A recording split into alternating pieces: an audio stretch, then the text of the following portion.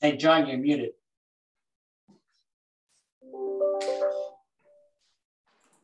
Yep, thank you. Um, good morning, everybody. It's 10 o'clock where we get started. Um, I'm John Sprague with the fire. I'm the fire prevention education consultant with the state of Kansas Fire Marshal's Office. Uh, today we have Craig Shad and Willie Jordan, I assume. Um, is that correct? All right. And um, they're going to talk about hood suppression systems. And give me just one moment. I will hand it over to you, gentlemen.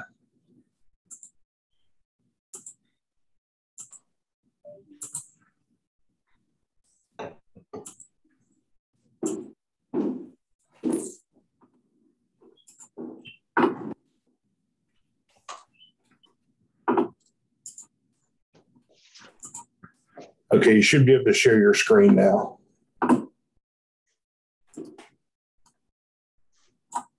Yes, miss.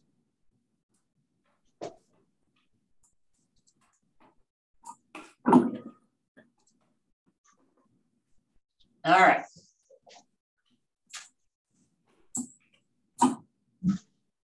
Are you seeing the screen? No, we're not. We're still seeing Willie.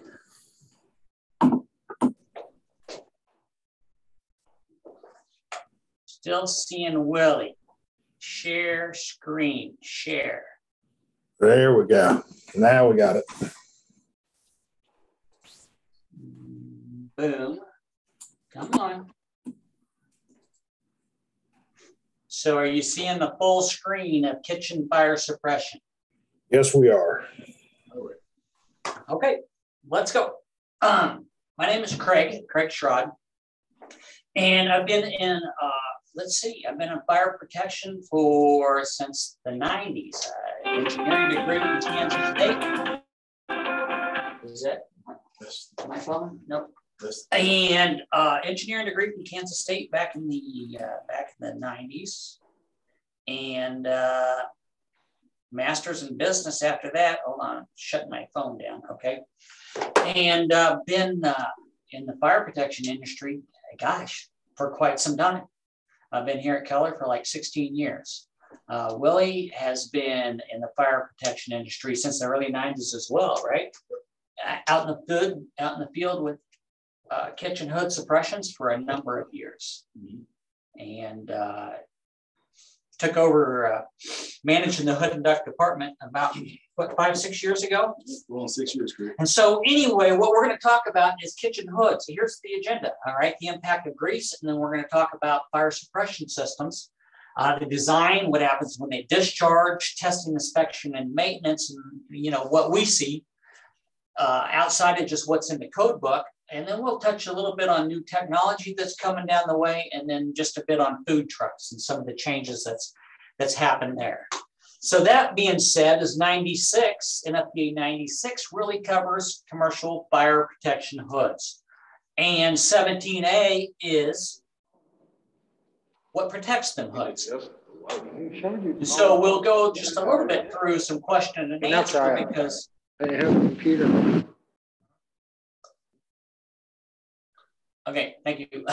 and uh, we'll go just, um, I just want to remind everybody, please mute your microphones so we can hear the pr presentation. Thank you.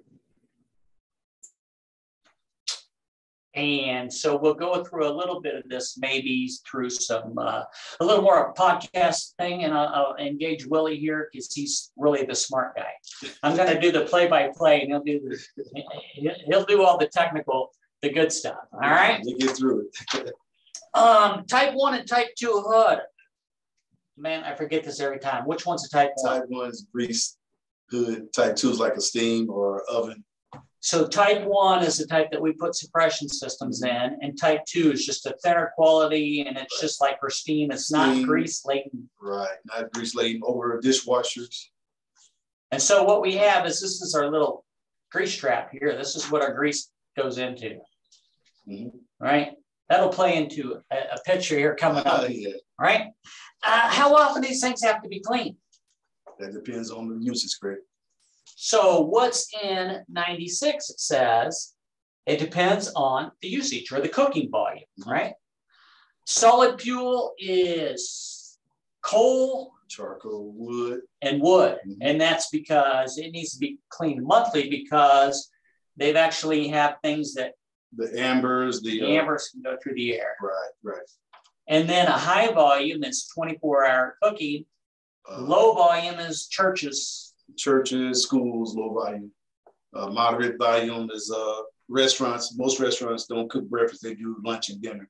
And that would be, Uh, uh, a Longhorn Steakhouse, they do lunch and dinner. Denny's they do breakfast, lunch, and dinner, so they call it hot line. So Hmm. if you have a moderate, it's like semi-annual, but what happens if the grease in there is more than, I mean, a steakhouse is a certain amount of grease, right? Hmm. Peanut oil type restaurant is, has a whole lot more, right? So that's a quarterly That's basis. a quarterly basis. And is that just a touchy feely thing or is it like, look, man, your grease is, Nah, it's in the code. It needs to be done. okay. Yeah. Okay, so what needs to be cleaned? What we're looking at here is, here's our exhaust hood and it's gonna go up through the ductwork and out the exhaust hood, right? Mhm. So obviously, we're gonna clean Clean behind the the hood. We're gonna clean the hood and this is what always gets cleaned because everybody can see it. That's right. And the issues start coming in Behind the filter. behind the the filters. area. And then we need to clean the ductwork and we get to access panels so you can get into the ductwork. And of course, there's the hood on the top. the. So the question is, is that we always say, is if your hood cleaner came out to clean your hood and never got on the roof, what happened? Clean the hood. They didn't clean the hood. They didn't clean the hood, not the right way. Now, Willie sent me this picture yesterday. Wow. You added that, huh? I added it. This is a hood that the hood cleaner, we said, hey man, can you come in here? And this guy needs to clean this. He's like, no, I'm not touching it. Yeah. This top picture here Oh is the ductwork. Oh my gosh. Yes. And this is the filters, and you can start to see, okay, we cleaned it a little bit out here. Now we start to see what goes up into the ductwork. This is a picture from yesterday. That's a shame. Like if you like you just said, the hood cleaner refused to even clean the hood. He don't even want to take the liability of. He said, Well, I'm not even gonna mess with it. He refused to do it. And so, you know, the reality is, is we see grease, right? Mhm. And why does grease make us cringe? Um, okay. Well, a fire suppression system is designed to handle a fire on top of a grill or a fryer or whatever. It can't handle all the extra fuel load of all the grease in this thing. That picture back here, right? If we was to get a grease fire going, it would fly up that hood so fast, it would just go right past the links, Right. right?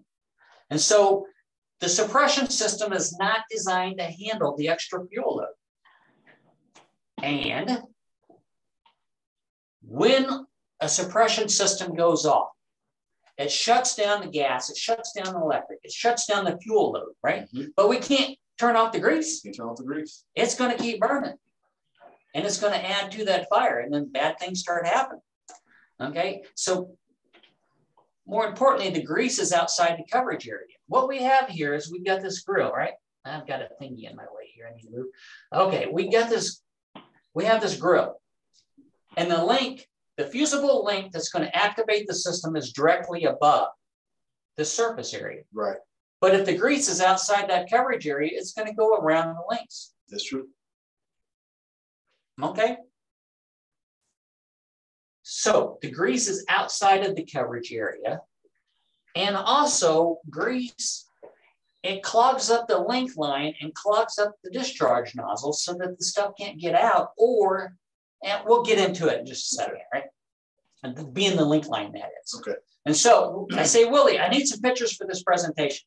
It's been a, a little while ago, right? Mhm. He's like, let me send a message out to the guys. Yeah. Okay, within two minutes, here comes these pictures. Okay, These are real pictures. the one on the left, five gallon bucket full of grease. I mean, Willie, they, they dumped it. Right. They changed the grease in the fryer, but instead of taking it outside to a disposable uh, unit or container, they left it right there by the fryer. So the grease just sits there by the fryer. We see it all the time. And this one on the right, you had explained this one. I pointed out the grease, the thing in the hood that collects the grease Mhm. before, right? That's is that's a grease that's running the excess grease behind the plenum dripping in the grease pan and the overflowing is dropping on the floor. Now you told me before it was that little grease thing is about enough to do a breakfast Oh yeah, or maybe do a dinner. Yeah. It's not gonna A lunch. Right. It needs to be cleaned out constantly. What's happening here is that thing never come out. It keeps falling on the wall. Now, this blue line is a gas line, so the appliance is moved away from the wall. Mhm. Guys, this is just making me sick. All right. But the stuff keeps falling down there. Now, now really what happens here is, is it's fun. Okay, it's fun to create a little fire when you're cooking, right? Oh my gosh. Now, is that really kind of the biggest problem when it comes to hood systems? Not necessarily. I mean, because you have people right there. If something goes wrong, there's people right there. But you have extension cords that go behind these appliances, right? Mhm. That get crusty and then they, they grease. right? There's a whole myriad of things that go on. I mean, not only that, in the middle of the night, things people leave the chicken. Hey, did you turn the chicken off? Uh, yeah, I did. Well, no, you did. All right. And so then it burns down and you have things in the middle of the night. This goes to that and it goes to the other thing. And it's just that fuel load. Okay, here's a picture. Yeah, I, mean, I wasn't going to do this, but I'm going to go ahead and show it. Uh, Windows Media Player. This, Okay. All right, what this is, this is a little, right?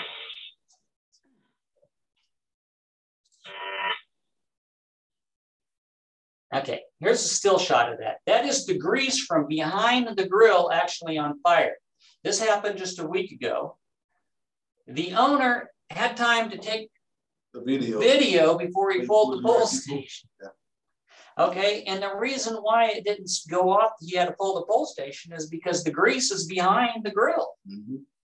So he took a picture of it, sent it to us, and then pulled the pull station and says, "Hey, can you come out and fix my fix my thing?" You know, all of these are points of why the grease becomes issues when it's not around. The, you know, it's not the grease fire. The intention of the thing is to put out an oops when you're actually cooking. The tensioner system is to put out the fire on the piece of equipment. All that extra behind the hood, behind the filters, is not designed to do that. It's not designed to do that. So what is it designed to do? What is it? Here's the components of a kitchen system. What we have is red lines and black lines in here, right? Now this is the pull station. And what happens, there's actually a mechanical Gas- wire. There's a wire that goes up into the Automan. We'll talk about that a little bit. And then we have this link line that's above each of these appliances. And they look like this down here.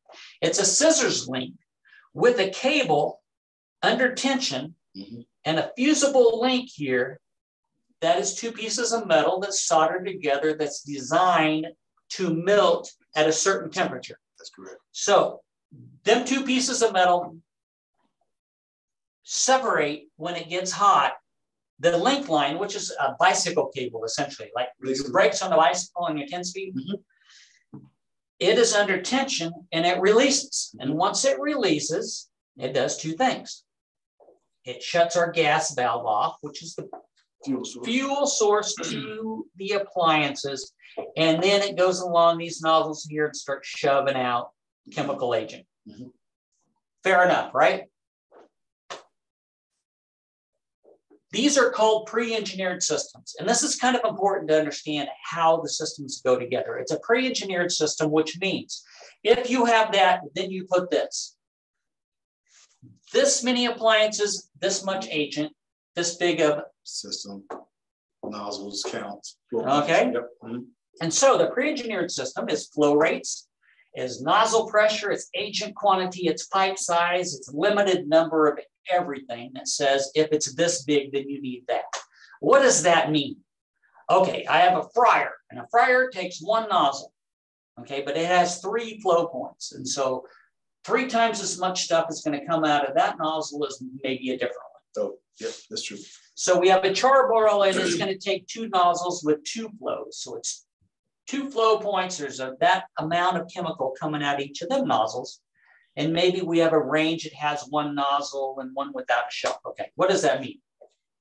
The amount of stuff coming out of a nozzle for that fryer, it's three flows worth. So there's going to be more stuff coming out of that nozzle.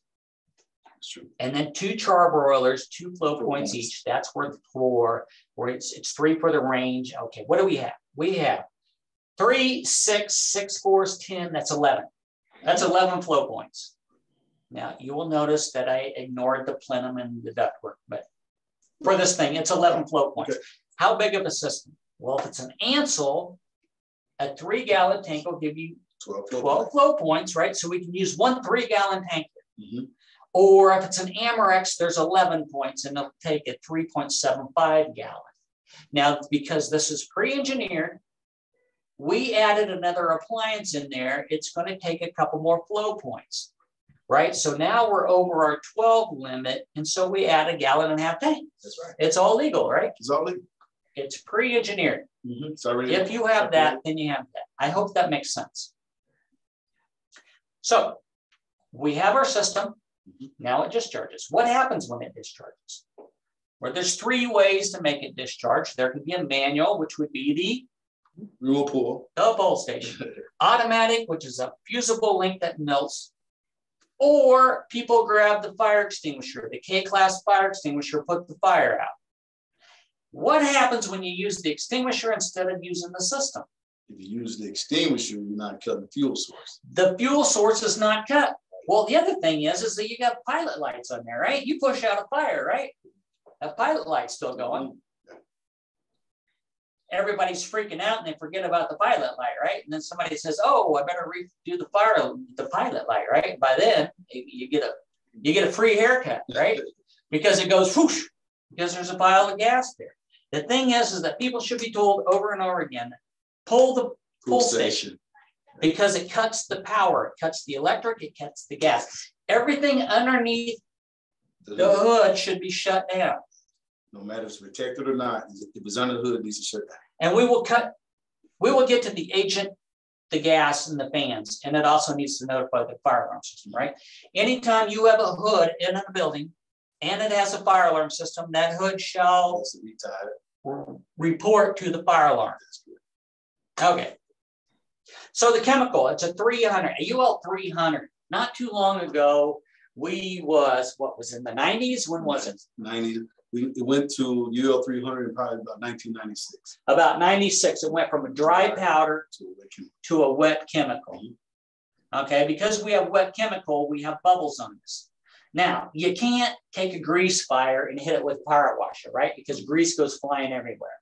So when this discharges, even the fire extinguisher, it is a slower discharge, which puts a coat of bubble, it puts a bubble blanket over the grease, mm-hmm. which separates the fuel from the oxygen. It cools it down. And we call this sponification, mm-hmm. right? Everybody in this industry loves the word sponification.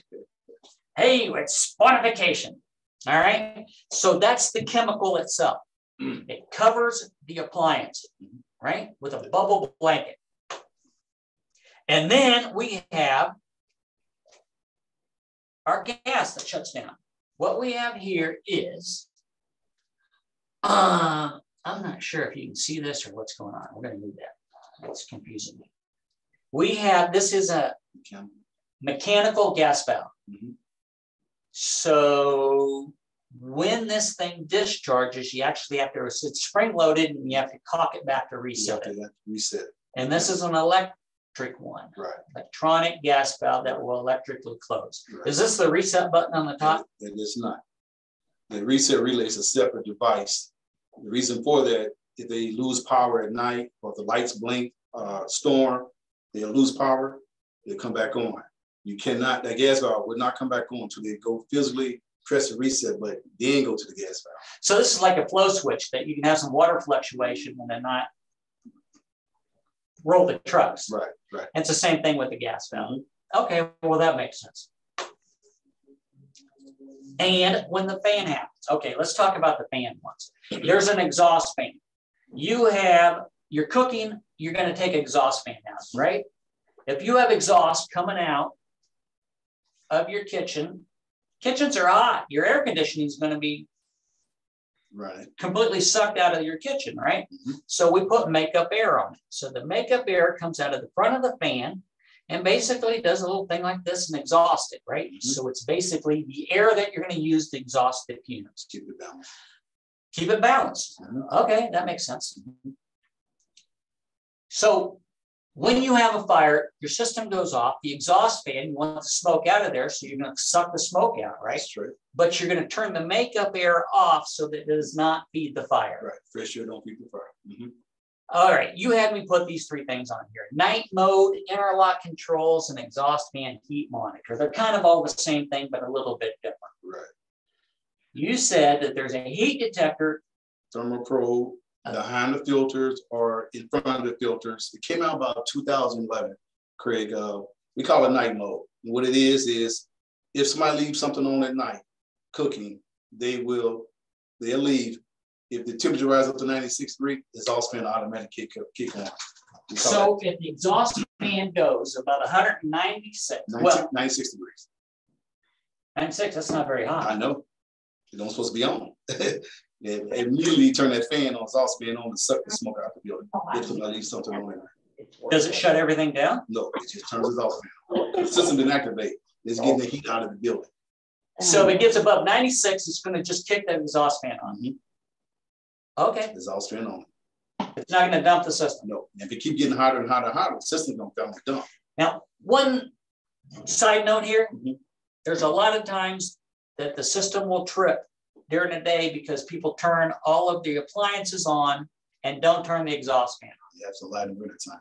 That's the interlock controls, right? Right. Right. They trying to warm up the kitchen before they get the cooking and it don't take that much. At 360 degrees, the thing got to be on. So to warm the kitchen up Uh-huh. and then forget to do the exhaust fan. Okay, well, that makes some sense. So what happens when the thing does discharge? Um, oh, it's the same thing.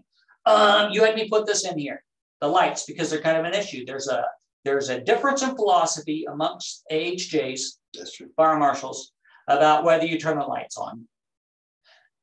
Some AHJs want you to turn off all, all electrical under the hood, including the lights. Well, isn't that what the code says? Yes, but also it's some AHJ are fine leaving lights on if the light is in a vapor-proof enclosure. Because that's what the code says also. Right. Right. So as long as the lights are in a vapor-proof enclosure, you can leave the lights on. Uh, personally, I'm in favor of leaving lights on so you can see what you're See doing. what you're doing. Do it fire, you want to see what's going on. But the thing is, is that you can also have people that say, hey, I need another circuit, and they pull the circuit off. Next thing you know, they're feeding the fire with the lighting circuit. Because there's plenty of knuckleheads. There's no shortage of knuckleheads. No, All right. But we also test it. Every six months when we come in there, we go do it, we have to trip the system, right? Right. Yep. So let's get into what happens when we actually test this. Now, I put this slide in here because it says in 96, and it also says in 17A that the person testing the system shall be certified. And what does that mean? Well, they need to know what they're doing. They need to go past the test. They need to do the stuff, right? But if you are familiar with an Ansul system or a kit or whatever, Mhm. and you go to a different company and you start testing them systems, are you certified? And it's not the knowledge of the person out there performing the inspection. It has a lot more to do with the manufacturers, the recall notices, and all of the stuff that goes with being an authorized distributor for a certain company, right? Right. Your certification stays with that company. If you're a employee move from one company to another company, that doesn't qualify them to be certified. Because you don't have all the knowledge, That's right. not the knowledge of the system, but all the back knowledge of the manufacturer's inside information. I mean, we're not certified for all of these things, right? Mm, Yeah, okay. maybe, okay. Anyway, that's besides the point. All right. There are certain things I don't know, so I walk in, sorry. Right. Uh, all right, who is responsible for the inspection? Owner. The owner is responsible for. it. So your alarm company does not show up for two months after your inspection is due. Well, shame on them, but ultimately it's the owner's responsibility. And that is the same thing in the code for the fire alarm code the sprinkler code, all of them. It's the same thing. The owners are responsible ultimately for them inspections. Mm. Mrs. Kenwood. When we test a system, we need to activate it, Mhm. right? That's You take out the firing links in there that actually keeps it from discharging, but you need to make sure that the thing trips. It trips the gas valve, it turns the electricity off, it makes the exhaust fan change state. Mhm. The little pin fires in there. And we do this by actually pulling the pull station and going to the last link in the Mhm. line and cutting a link so that cable that's going through this conduit and this conduit's open and exposed and grease gets up in there, right? So you need to make sure that that thing freely slides over there Mhm. and not, you can't help it. You can't tug on it to make sure it goes through there Right. because in reality, we showed you some of them pictures with the grease in there. That grease will grab at that link line and it will hold it. And we go through many of these things and people are like, no, I, I don't want the expense of cleaning out that line. You can't, I don't want you, I don't want to pay for you to replace this. It needs to be replaced. And that's when we start putting red tags on Right. systems, right? Because it won't work. That's usually, if a system doesn't function, usually it's probably nine out of ten gonna be the link line. And Like you said, cleaning, grease over time gets into the conduit and the fusible link, if they do have a fire, needs to melt, it needs to be flow. And it, sometimes it doesn't. And we change the link lines. We'll get into links in, I think, in just a second, but we change the links lines and they're dated and we have to note the dates on the inspection form. Make sure there's agent in it, check the gauges. Not all systems have gauges because they're not all under pressure. They act, they, they operate in different ways. We check the conduit and the pipe to make sure that everything's cleared and that it activates the fire alarm panel. Okay? Why are the links changed in each inspection? Because they, Answer is they lose their integrity, they heat up and cool down. every day. They get hot, they get cold. Right. They They're get hot, dated. they get cold. Yep. And they are dated. And typically we will, and it's generally accepted that we hang the link, the old links on the pull station of the Automan. And the reason we do that is because it's a lot easier looking at the dates of the links hanging on the pull station than to climb your happy self up oh. into the hood, A lot of AHJ won't. looking at links. Yeah, A lot of AHJ won't to hang on remote pool. Because when people don't require this, links don't get changed. Mm-hmm. It- It's, it's amazing. Where does the pull station go? It needs to be ten or twenty foot from the hood, because it can't be too close to the hood because the hood's on fire and you're gonna go in there and go mm-hmm. pull it, right? Path of egress towards a lighted exit and not behind a stack of boxes. Mm-hmm. Now, usually the pull station is there for the boxes. And the reason I put this slide in here is sometimes the question comes up, what am I asking somebody to do when I say you need to move your pull station? Because it's always behind some boxes. Every time I come in here, you need to move it. It needs to be a conduit path from that pull station to the Automan. Automan is where all the main controls are. Mhm. And so if you're moving it over yay far, sometimes it's a big deal, sometimes it's not. But the reality is, is the boxes are there. When you're there, I can't imagine When you're not there. when you're not there. Yeah. And, you know, we fight that fight a lot. All the time. Say, look, They're man, moving while, while we there, they're moving, you have to walk out the door. Probably put them right back until the next time. why do we need nozzle caps? Okay, little red nozzle caps on there. Why do we need them Thanks.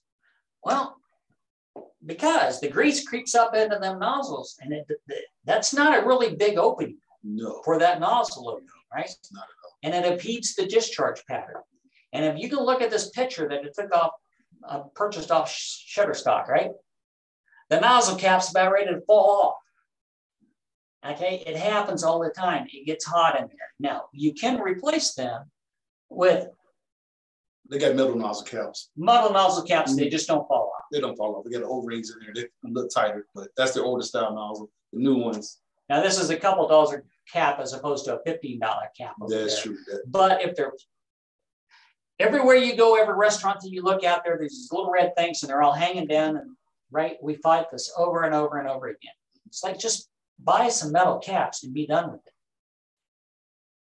Right. because bad things happen. The reality is, these caps are off, there's grease up in them, they're buying a new nozzle anyway, right? Yeah.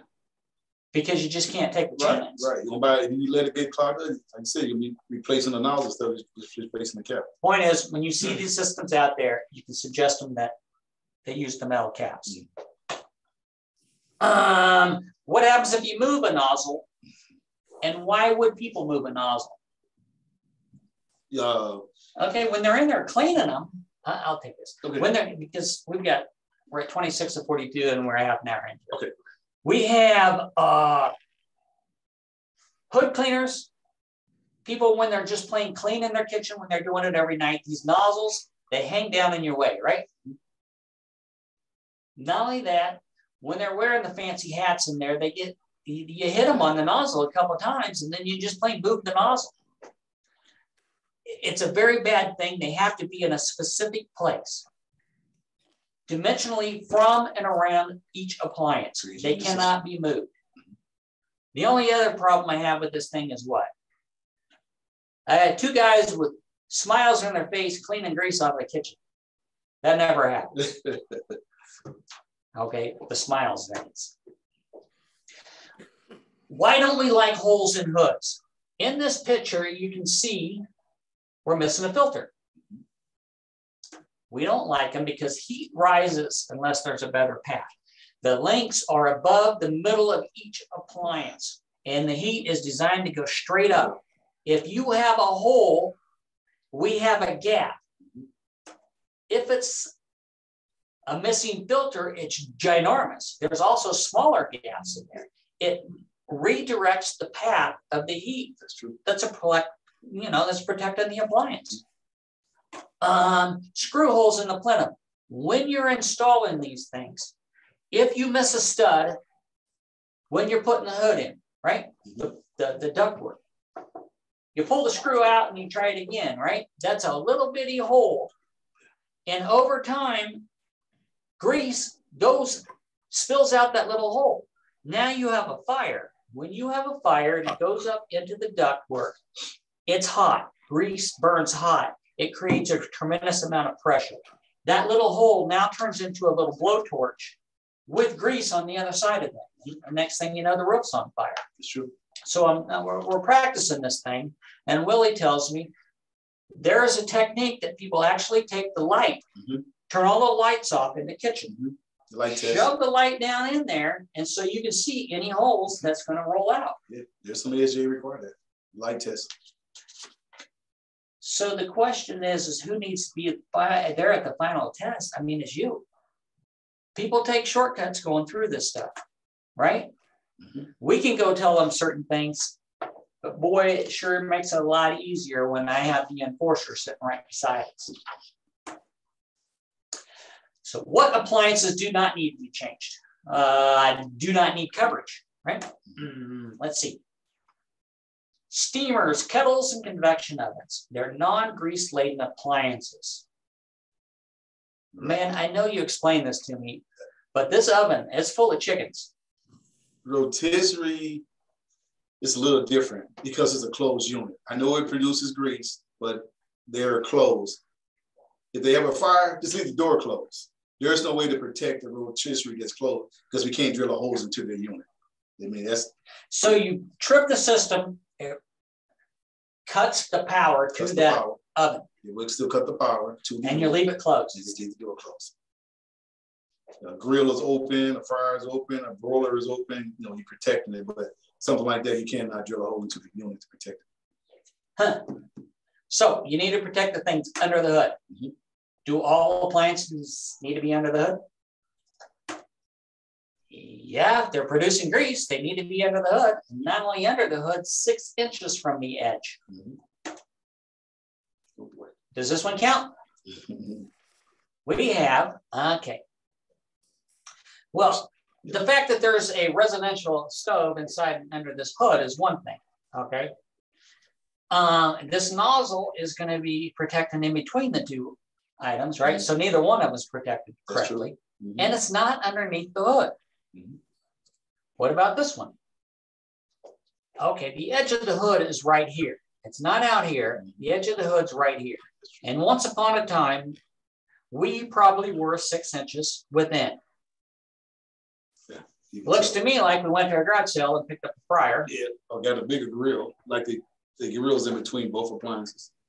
Bigger grill. That would make some sense as well. It also looks like we used to take a grill that used to have a nozzle that went to its side, Mhm. got us some shiny new pipe, and put us a new nozzle in. At least they put a metal cap on it, right? That's- Point is, this doesn't work. Let's look inside the control panel, the Automan of the control panel. You see this wiring in here? This is a mess. All right. This is one of our field, That's when we said, Yeah, the guy sent this in as well. Okay, let's look at this one instead. It's the same thing, only a little bit different. What we have going on here, here's our micro switches. This is what shuts the electric down. This is what alarms the fire alarm panel and whatnot. Right. This mechanism here is a mechanical mechanism. It's spring loaded. So there's moving parts in here. Mhm. If we have a mess going on like this, it can possibly mess up the mechanical actuation. Not only that, we have wire nuts in here. This is not a listed enclosure for electrical. You can't have wire nuts in there. Okay, it needs to have a box on the outside. So when you see this, That's not. it's not acceptable. Here we have another picture. This is a system. Okay, this is obviously, this is a blow up of what I tried to show as a blow up of this area right here. But first off, we used to have a three gallon tank. Okay, it probably used to have a smaller not cartridge in it, right? Mhm, mhm. So we put a bigger cartridge in it because we now, this is the expelling uh, Yes. Nitrogen. gas, it's the nitrogen to get the chemical out of this tank. Mhm. Now, is it pretty? Not necessarily. Is it legal? Well, maybe. Because it's a, it, it is a pre-engineered system. If we increase the size of the kitchen hood, we can increase the size of the agent, right? Mhm. This is not a perfect world here because our manifold should be balanced. It's not balanced. Is that the end of the world? Maybe, maybe not. Is it designed to be that way? No. Could it work? Probably. If you couldn't, right concept, bad design. The issue that I have is we now just took a rubber hose. This gas needs to get this agent out of these tanks. Right. We now didn't get quite close enough and we started throwing rubber hoses on it. It's a pre-engineered system. It's designed to work on a certain way. Throwing rubber hoses in there No, is just not the way to do it. no, it's not a design. If there's any questions, take a picture, send it to us. They'll let you know. Right? It's for the betterment of all of the industry. What's new in the industry? Um, all manufacturers have been trying to get to electronic detection for a long time. What that means is instead of using bicycle cable and scissors links that seize up, it's they're trying to go to a protection wire line, a protective wire line, which is basically two cables with a coating that's going to dissolve at whatever 155, 280, 356, or 500. And that's got an outer coating that's also going to help squeeze them two wires together. So when it gets to a certain temperature, it's going to short out, Activate the system. activate the system. Why does the world fight it? Well, A, because it's different. You know how that goes, anything that's different. And B, it also now requires electronic programming. It's not just a mechanical system anymore. I would say within the next five years, it's going to get more. It's finally starting to take some traction. Okay, and Ansul calls this the RED system, Restaurant Electronic Detection. Mhm. Ansul has, uh, Amerex has one out. Strike. Strike, they all have one out there. It's coming. The last thing I wanted to cover just a bit was food trucks and are they safe? And the reason I bring food trucks into this is because as of the end of this quarter this year, first. This month. you, It used to be that food trucks were grandfathered in that they did not have to have the carbon monoxide Mhm. And propane leak. and propane leak detectors inside the truck. They now do. We are now also getting a look at these things and some of the things that should not be done and changed, right? And so we went through some presentations over this because kitchens are somewhat isolated, right? Mhm. From the people eating. That's right. Within food trucks, the people are all just right there. And the more food trucks, the more people, the more people, the more food trucks, and right, it becomes big events. They're really kind of cool. Um, what can go wrong? It's a moving kitchen. Willie took this picture. This what was- happened here is our tank fell off the bracket. So we didn't install it. We did not We just install it. fixed it Customer because came by here for us to fix it. you typically will put these components closer to the ground because they do move. Here, we installed the bottle on the floor because like you said, they do move traveling up, bouncing. And we did the control here, we leave it up high. Well, not only that, I just noticed that that K class is in the wrong spot Oh, anyway, right? Mhm. Because there's rules of where that thing has to be. Okay, but let's go. I wasn't gonna do this, but I'm going to. Let's go here. I'm gonna copy this. Copy this. Uh-oh. I need to stop this because they cuss. You want to know? Ah, you wanna know? How the range doesn't work for you? I'm a golfer.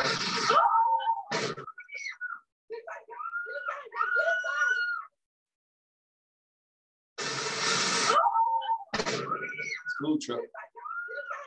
Okay. I need to stop that. It is a food truck. The problem with food trucks are what? Two things. You have generators doing the electrical part, and that produces carbon monoxide. That's true. And that generator then needs to be Ten. 10 foot away from the truck. Right. Sometimes that becomes an issue. Now, the propane, can it be mounted on the back of the truck? But it needs to be outside, right? Down on the back, outside, with the propane leak detector. But it's just a propane tank. Yeah. It doesn't have a lot of safeguards of what, say, natural gas when it comes into a building, right? Right. And not only that, it's a moving truck and things get loose and things fall. And the issue is, is the number of people that are that close to the truck itself. Not only mm-hmm. that, if one truck goes, man, it looks like Saturn missiles. Right. Some of them other videos, I, it gets a little intense. And a lot of times they're at festivals, which means there's drunk people there and nothing can go bad. Somebody's drunk, right?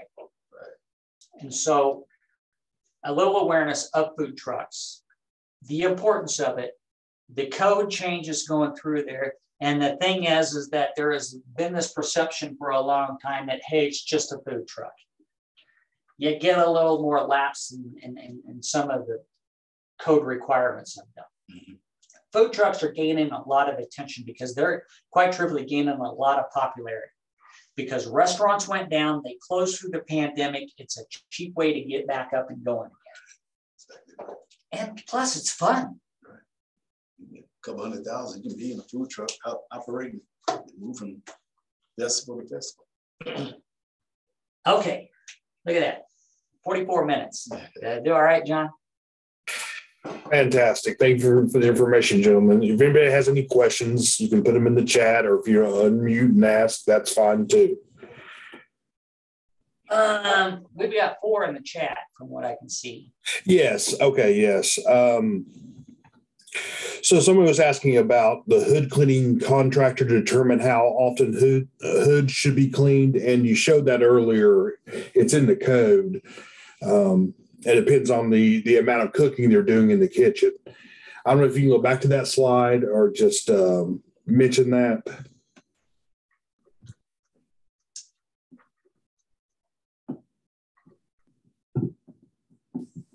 Maybe somebody joined late and didn't see that. I'm not sure.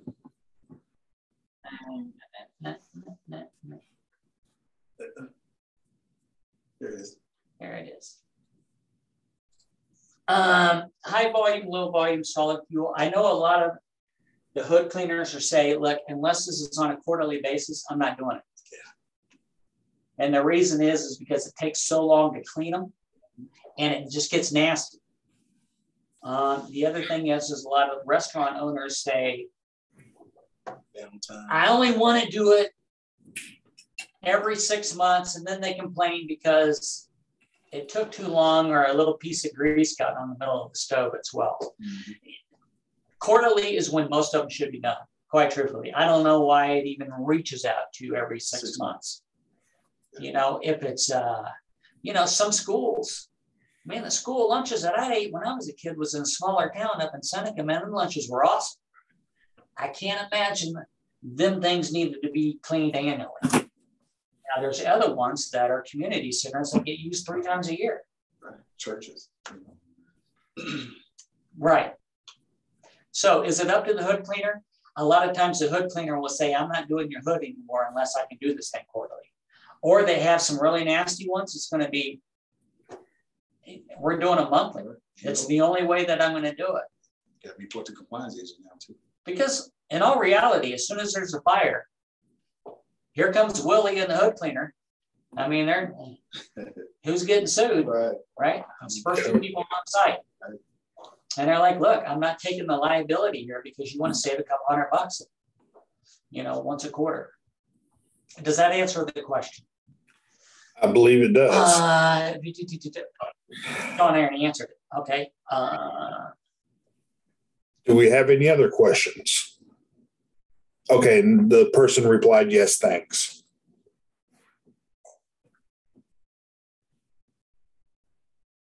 any other questions? We did that good of a job. No more questions. Aaron's Um, like, I don't want to hear that guy talk. I promise Lily can answer the questions. Excuse me there. Um, apparently not. Uh, I'll tell you what, if you could give me the slides, um, a copy of the slides, some people have asked for copies of that and I can get them out to them. If you just email me those. Um, If, it is a ginormous presentation with the videos and stuff in it. could you make it a, could you make it a PDF and send it to me maybe? Could You,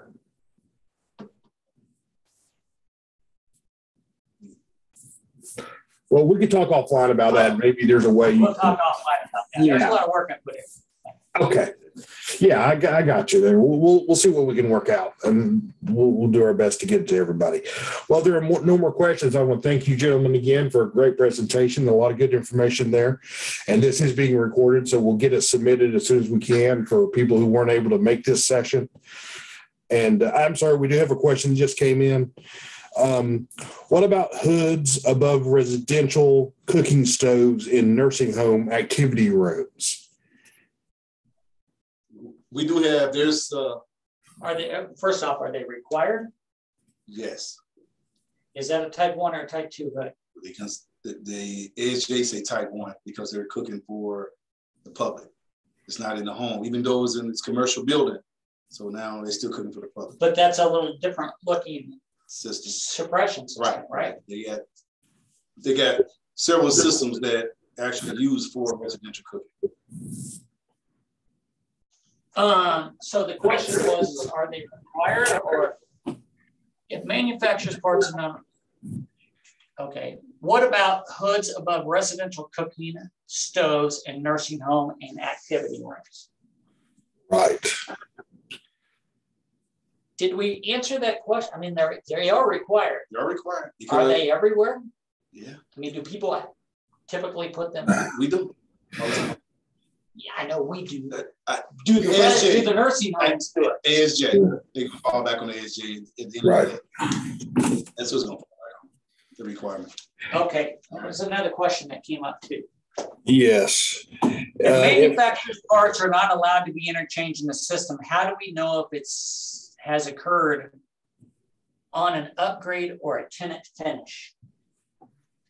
Um, so it's UL listed as a system, so the manufacturer's parts need to be there. Mhm. How do you know if they didn't take an Amerex nozzle and put it on an Amerex system, on, a, on an Ansul system, or a range guard this on a, Knowledge, It's in the book. I mean, I can, I can tell you. If you, you're the authorities who have jurisdiction, you're not gonna, they're not gonna I know. can't look up there and see it's there, right? Right.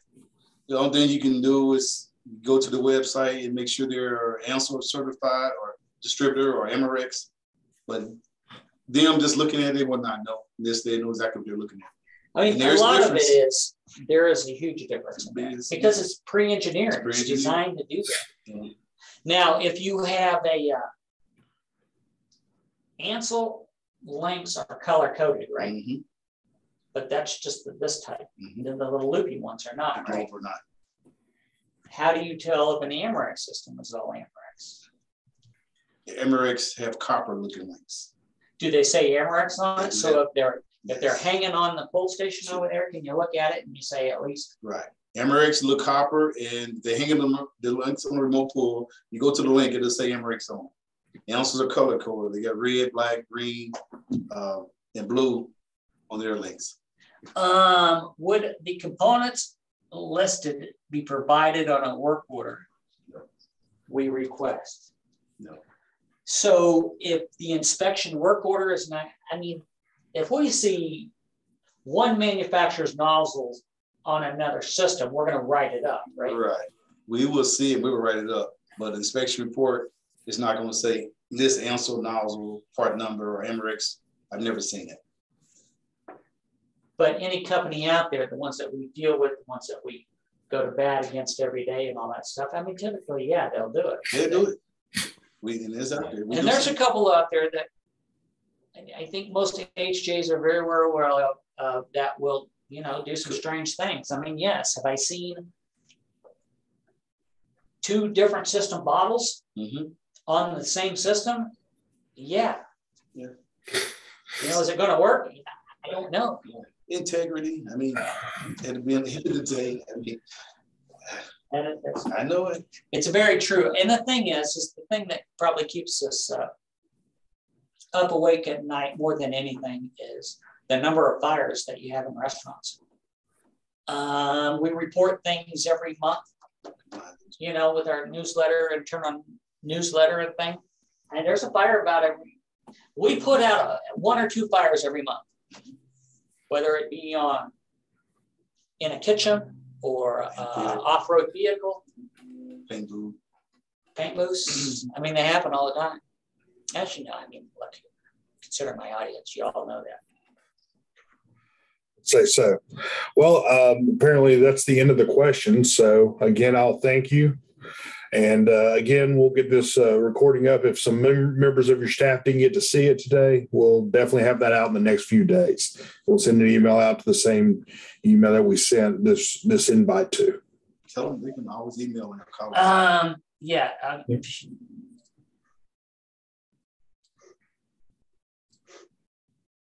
There's our email addresses. Okay. Or you can look us up, get a phone number in there as well. We have people, we have HJs and fire marshals calling us all the time. All the time. all the time. More than happy to answer any questions you have. It's, it's our industry. We owe it to the industry to say, you know, hey, Yeah. um, we do in-person training, we do all kinds of stuff. It's like, it's all good. Yep. I'm, we here to help you. So anything, any questions, just give us a call, email us. I'll get back right back to you. All right, put those email addresses in the chat uh, as well. The people could grab those if you need them. All right, gentlemen, I'll thank you again, and uh, everybody have a good day. Thanks, John. All right, thank you.